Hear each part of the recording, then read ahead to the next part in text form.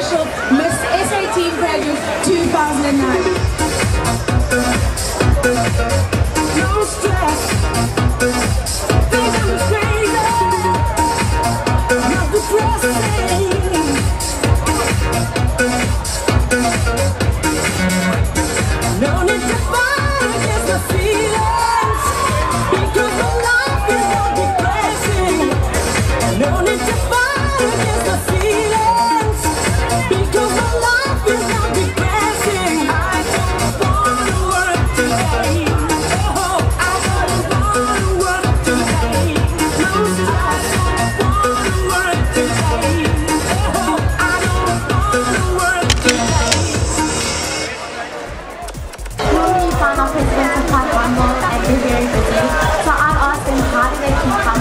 So grounded because I think that being humble is a quality that keeps your feet on the ground and no matter how successful you are, you can fly with the skies but um, like when you keep your feet on the ground, you can relate with everybody, you a people's person and I think that a president needs to have that so I'll definitely want to ask how they stay so humble because I think that is one of the greatest qualities a person can ever own.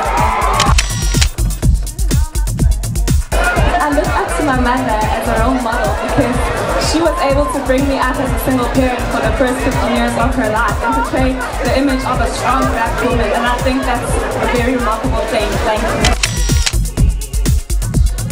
I believe the youth can contribute positively towards this event if they keep have respect for themselves and for the country because it's such a huge achievement to have something like this in our country and this is our chance for all of us to show that it's such a beautiful nation and country the diversity and nature. So for the youth to respect that and keep our country clean and sit together to promote a good image for everyone will be something that's fantastic.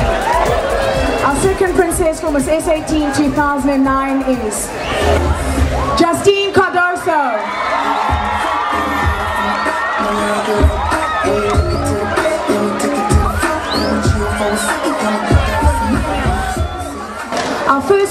Miss SA Teen 2009 is Lucky Mthembu.